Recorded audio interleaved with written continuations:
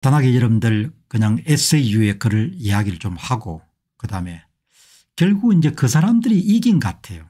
그 사람들이. 예. 그러니까 이제 1945년도에 해방이 되고 그다음에 1948년도에 5월 10일 6월 10, 5월 10일이죠. 총선을 통해 가지고 이제 재헌 국회가 탄생하고 결국은 이제 이성만 박정희로 이어지는 그런 이제 체제 하에서 이제 우리가 오늘까지 왔는데 그런데 우파 진영들은 전투력이 이제 별로 없고 또 사적인 이익에 굉장히 많이 매몰됐기 때문에 국가를 지키거나 이런 부분에 대해서는 그렇게 조예가 깊지 않은 것 같습니다. 예, 정권마다 우파 진영들이 집권하는 그런 기간들이 길었지만 그 기간 동안에 이제 나라를 이렇게 지키기 위해 가지고 정신적인 토대를 구축하고 그다음에 제도를 정비하고 이런 부분들은 대단히 등환이 한 거죠. 이제 그런 그 등환이 한 그런 약점들 그 간격들을 정확하게 이제 공략을 해 가지고 거의 10년 이상 정도 이제 선거를 접수하기 위한 그런 노력들이 아주 조직적이고 체계적으로 이렇게 진행돼 왔지 않습니까 진행이 돼 와가지고 이제 뭐 여론도 만지고 선거도 만지고 이렇게 하니까 뭐 절반 정도는 최면에 걸렸고 사람들이 나머지 절반 정도는 뭐 인지하고 있는 상태지만 감히 나서 가지고 이렇게 싸울 수 있는 그런 뭐 의지나 의도 이런 것이 없는 것이죠. 그러니까 지금 이제 그런 선거 공정성 회복하기 위한 그런 노력들에서 참여하는 사람 숫자가 이제 정체되거나 점점 줄어들지 않습니까 그 이야기는 결국은 예, 선거를 바로잡기 위한 그런 노력들이 거의 물을 건너가고 있다 그런 생각이 저는 들거든요.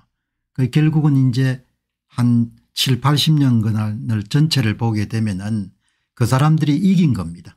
그 사람들이 이길 가능성이 굉장히 지금 높은 거죠. 높, 높기 때문에 그 사람들이 승리하게 되면 이제 역사도 다 다시 쓰겠죠. 뭐4.3 사태라든지 5.18이라는 이거 다 자기 중심으로 그래 역사를 쓰지 않겠습니까 예. 그러니까 뭐 여기 보시게 되면은 여기 이제 오늘 한 분께서 우리나라 예, 자유민주주의 시스템이 호락호락하지 않다고 생각하는데 호락호락하지 않는 것이 전혀 아니죠. 어마어마하게 허술한 거죠. 예, 허술하기 때문에 우울한 이야기라고 생각하지 마시고 그냥 내가 적나라하게 한 이야기 속에서 내가 어떻게 해야 될 것인가 그렇게 생각하는 것이 낫지 않겠냐 보거든요. 예. 그냥 뭐 지금 전개되고 있는 상황을 보고 내가 거짓말을 할 수는 없지 않습니까 물론 미래와 관련된 일이기 때문에 제 판단이나 이런 부분이 틀릴 수도 있겠죠. 결국 그 사람들이 승리를 한 거죠. 승리를 했고 왜 승리를 했는가 하니까 우파 진영이 전투력이 전혀 없는 겁니다. 당도 그렇고 대통령도 그렇고 당하고 이런 대통령만 나무랄 수도 없고 그냥 언론이 그렇고 사람들이 다 그렇게 변해버린 겁니다. 사람들이 다 그렇게 여러분들 변해버렸기 때문에 싸울 의지가 전혀 없는 겁니다. 예. 본인들이 반드시 싸워서 지켜야 될 것을 지키려고 하는 그런 의지들이 별로 없는 거예요. 예. 그러니까 지금 뭐 예를 들면 시위에 참여한 사람들이 몇백 명 수준이라는 거 아닙니까 예. 그러니까 제 이야기의 요지는 오늘 여기 방송 들으신 분들한테 우울한 말씀을 드리려고 하는 것은 아니고 예. 가는 방향을 정확하게 이해를 하고 계셔야 된다는 거죠. 소망하는 거하고 실제로 일어난 것을 구분할 수 있어야 되는 실제로 진행되는 거하고 내가 바라는 것을 구분할 수가 없으면 그러면 어려움에 처할 수밖에 없는 거죠. 싸울 의지가 없는 겁니다. 지킬 의지가 가장 중요한 것은 우리가 예를 들면 예전에 이제 학생 시절부터 시작해 성장할 때도 보면은 부모들이 아무리 기회를 줘도 본인이 공부할 의지가 있어야 되잖아요. 지금 여러분들 이스라엘 사람들 보시기 바랍니다.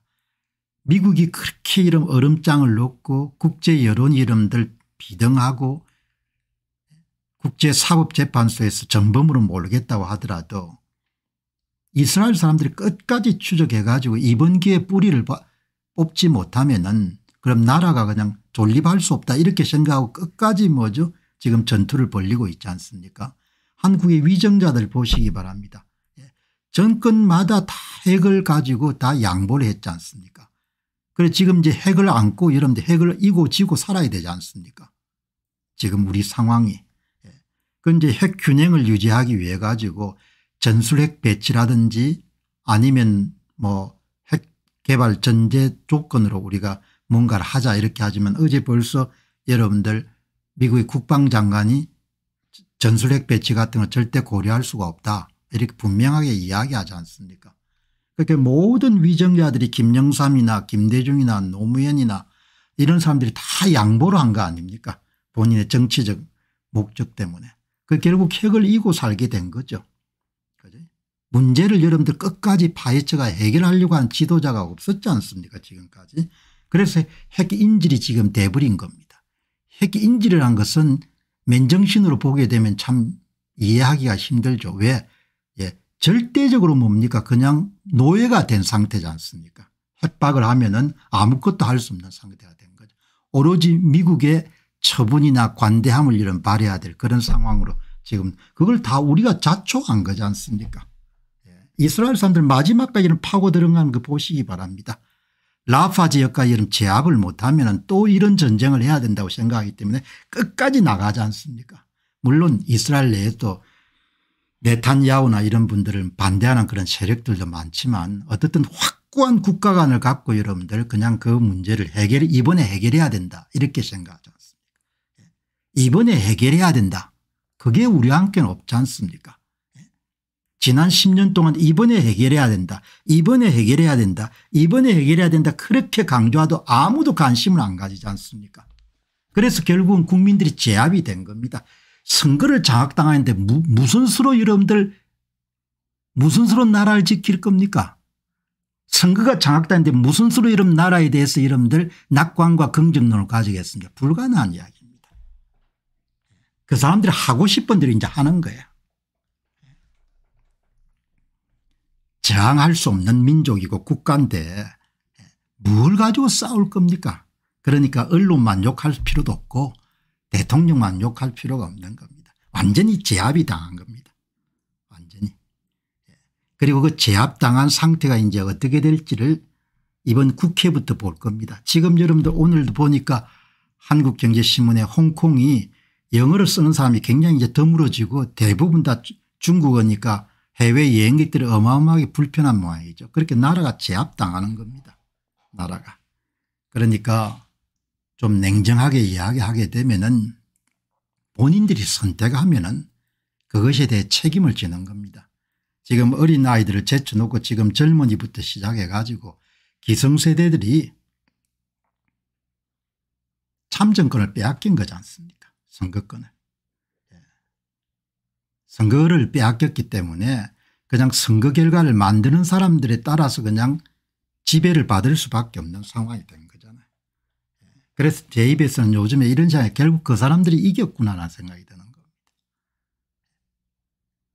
그게 현실적으로 이런 피부에 와닿지 않으면 은 이제 22대 국회가 개원되면서 일어나는 일들을 한번 봐라 이야기. 그럼 그게 뭘 이야기하는 건지 현상만 보지 말고 현상 밑을 관통하는 것을 한번 보라 이야기죠. 관통하는 것을 보면 은 앞으로 어떤 일이 일어날지를 이해하고도 남는 거죠. 여기 보시게